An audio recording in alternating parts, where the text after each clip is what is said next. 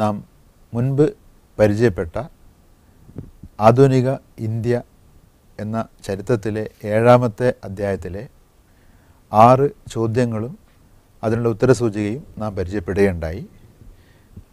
ആ പാഠഭാഗത്തിൽ രാഷ്ട്രീയപരമായും ഭാഷാപരമായും ഭരണഘടനാപരമായും ഇന്ത്യ നേരിട്ട വെല്ലുവിളികളെ അതെങ്ങനെ തരണം ചെയ്തു എന്നതാണ് നാം ചർച്ച ചെയ്തത്. എന്നാൽ ഇനിയുള്ള ഭാഗത്ത് ചർച്ച ചെയ്യുന്നത് സാമ്പത്തികമായ ഇന്ത്യ എങ്ങനെ പുരോഗതിയിലേക്ക് കടന്നു വന്നു. സാമ്പത്തിക പുരോഗതിക്ക് വേണ്ടി നമ്മുടെ ഗവൺമെന്റ് സ്വീകരിച്ച നടപടികൾ എന്തായിരുന്നു? അതിന് വിവിധ മേഖലകളുടെ സംഭാവന എന്തായിരുന്നു? അതിന്റെ ഫലം എന്താണ്? എന്ന ഭാഗത്തിലേക്കാണ്. നമുക്ക് ആദ്യത്തെ ചോദ്യത്തിലേക്ക് കടക്കാം. എന്താണ് ഹരിത വിപ്ലവം? ഇന്ത്യൻ കാർഷിക രംഗത്ത് ഹരിത വിപ്ലവം സൃഷ്ടിച്ച മാറ്റമെന്ത് ഹരിത വിപ്ലവം ജലസേചനത്തിനും കൃഷിയന്ത്രങ്ങളും രാസവളം കീടനാശിനികൾ അത്യുൽപാദന ശേഷിയുള്ള വിത്തിനങ്ങളുടെ ഉപയോഗത്തിലൂടെ ഭക്ഷ്യോൽപാദനം വർദ്ധിപ്പിച്ചതിന് നാം പൊതുവെ പറയുന്നതാണ് ഹരിത വിപ്ലവം ഈ ഹരിത വിപ്ലവത്തിലേക്ക് നയിച്ച മറ്റ് ഘടകങ്ങളുണ്ട്. ജമീന്ദാരി സമ്പ്രദായങ്ങൾ നിർത്തലാക്കിയതും കൃഷി ഭൂമിയോട് സംബന്ധിച്ചുള്ള പല ബാധ്യതകളും ഒഴിവാക്കപ്പെടുന്നതിന് വേണ്ടി നടത്തിയ പരിശ്രമങ്ങളും കാർഷിക കോളേജുകൾ ഗവേഷണ സ്ഥാപനങ്ങൾ ആരംഭിച്ചതും ഇതിന്റെയൊക്കെ ഫലമായി ഭക്ഷ്യോൽപാദനം ഗണ്യമായി വർദ്ധിച്ചു. സ്വാതന്ത്ര്യാനന്തര ഭാരതത്തിന്റെ ഏറ്റവും വലിയ വെല്ലുവിളി ഭക്ഷ്യക്ഷാമമായിരുന്നു. ഈ ഭക്ഷ്യക്ഷാമം പരിഹരിക്കുന്നതിന് വേണ്ടി നമ്മുടെ ശ്രദ്ധ നമ്മുടെ ഗവൺമെന്റിന്റെ ആദ്യകാല ശ്രദ്ധ ഇതിൽ പതിയുകയുണ്ടായി. അതിനുവേണ്ടി അവർ സ്വീകരിച്ച ഒരു നടപടി ഇത്രയും വലിയ ഒരു ജനവിഭാഗത്തെ തീറ്റിപ്പോറ്റുന്നതിന് ഭക്ഷ്യോൽപാദനം വർദ്ധിപ്പിച്ചേ മതിയാകൂ എന്നുള്ളതാണ്. അതുകൊണ്ട് പാരമ്പര്യമായ രീതിക്ക് വ്യത്യസ്തമായി കാർഷിക മേഖലയിൽ ആധുനികവൽക്കരണം നടത്തുന്നതിനും പുതിയ സാങ്കേതിക വിദ്യയെ പ്രയോജനപ്പെടുത്തുന്നതിനും കൃഷിയന്ത്രങ്ങൾ ഉപയോഗിക്കുന്നതിനും തീരുമാനിച്ചു. ഡോക്ടർ സ്വാമിനാഥനെ പോലെയുള്ളവരുടെ സേവനങ്ങൾ ഇവിടെ സ്മരണീയമാണ്. അതിന്റെ ഫലമായി ഇന്ന് ഇന്ത്യ ഏറ്റവും ചുരുങ്ങിയതൊരു മുപ്പത് രാജ്യങ്ങളിലേക്കെങ്കിലും ഭക്ഷ്യവസ്തുക്കൾ കയറ്റുമതി ചെയ്യുന്ന ഒരു രാഷ്ട്രമായി തീർന്നിട്ടുണ്ട്. ഭക്ഷ്യസുരക്ഷാ ബില്ല് നമ്മുടെ പാർലമെന്റിൽ അവതരിപ്പിക്കാനുള്ള പരിശ്രമം നടക്കുന്നു. അപ്പം എല്ലാവർക്കും ഭക്ഷ്യധാന്യങ്ങൾ നൽകാൻ കഴിയുമെന്നുള്ള ഒരു ആത്മവിശ്വാസത്തിലേക്ക് നമ്മുടെ രാജ്യം വളർന്നത് ഹരിത വിപ്ലവത്തിലൂടെയാണ് ആ ഒരു ആശയമാണ് ഈ പാഠഭാഗത്തിന്റെ ഈ ചോദ്യത്തിൽ നിന്ന് കുട്ടി എഴുതാൻ ശ്രമിക്കേണ്ടത്. അടുത്തായ മറ്റൊരു ചോദ്യത്തിലേക്ക് കടക്കാം. ആധുനിക ഇന്ത്യയുടെ ശാസ്ത്ര പുരോഗതിക്ക് തന്നിരിക്കുന്ന ഗവേഷണ സ്ഥാപനങ്ങളുടെ പങ്ക് പരിശോധിക്കുക.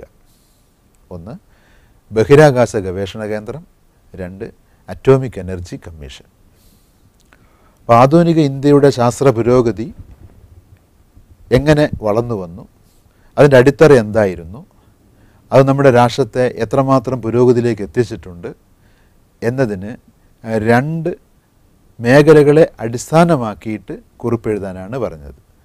അതിൽ വിദ്യാഭ്യാസമോ മറ്റു മേഖലകളോ ധാരാളം പുരോഗതി വന്നിട്ടുണ്ടെങ്കിലും ചോദ്യത്തിൽ കൊടുത്തിരിക്കുന്നത് ബഹിരാകാശ ഗവേഷണ കേന്ദ്രം അറ്റോമിക് എനർജി കമ്മീഷൻ പക്ഷേ മറ്റു ചോദ്യങ്ങളിൽ ഒരു പക്ഷേ വേറെ എന്തെങ്കിലും ചോദിച്ചേക്കാം. ചോദിച്ച കാര്യമേ കുട്ടി എഴുതേണ്ടതുള്ളൂ.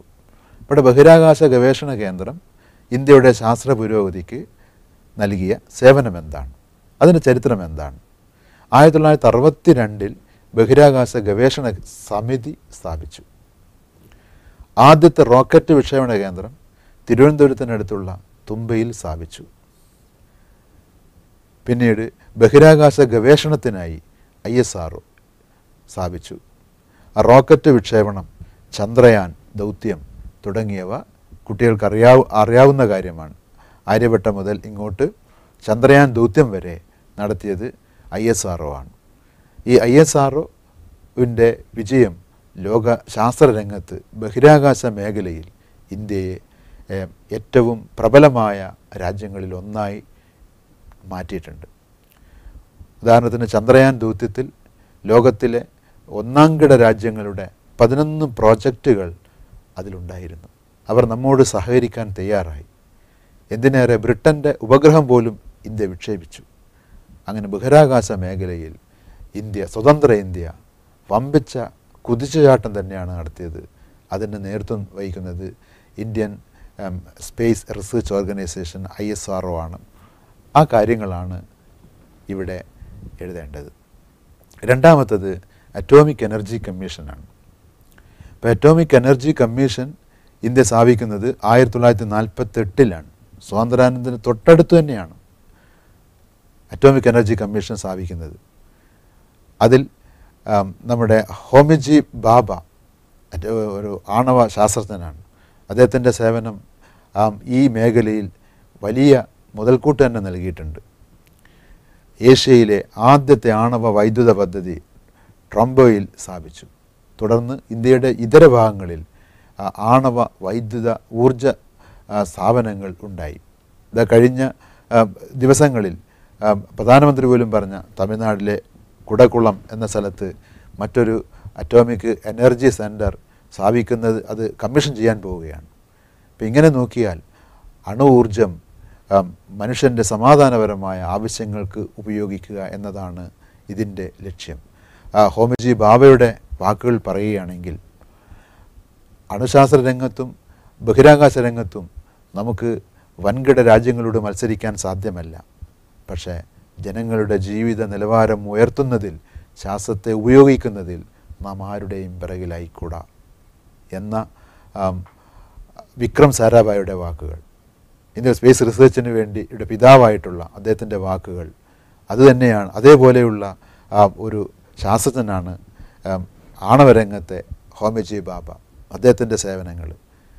പിന്നെ ആയിരത്തി തൊള്ളായിരത്തി എഴുപത്തി നാലിൽ രാജസ്ഥാനിലെ പൊഖ്രാനിൽ ഇന്ത്യ ആണവ പരീക്ഷണം നടത്തി.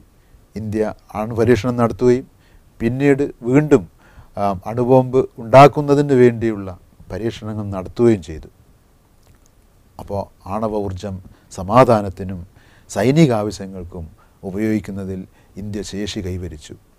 ഇന്ന് ഒരു ആണവ ആണവായുധമുള്ള രാഷ്ട്രമായിട്ട് ഇന്ത്യ തീർന്നു. ഇതിന് ആണവ ഊർജത്തിന്റെ സമാധാനപരമായ ഉപയോഗത്തിനും സൈനിക ആവശ്യങ്ങൾക്കും ഉപയോഗിക്കുന്നതിൽ ഇന്ത്യ മുന്നോട്ട് വന്നു. അങ്ങനെ ഈ മേഖലയിൽ ഇന്ത്യ നേടിയ നേട്ടങ്ങളാണ് രണ്ട് കുറിപ്പുകളെ ഒന്നിച്ചു ചേർത്തുകൊണ്ടാണ് ഇതിന് ഉത്തരം എഴുതേണ്ടത്. ഒരുപക്ഷേ ഈ ചോദ്യം മറ്റ് വിദ്യാഭ്യാസ മേഖലയിൽ ചോദിക്കുമ്പോൾ ആ രീതിയിലേക്ക് എഴുതേണ്ടതുണ്ട്. അതേപോലെ തന്നെ മറ്റ് ഇതര മേഖലകളെക്കുറിച്ച് ചോദിക്കുമ്പോൾ എഴുതേണ്ടത്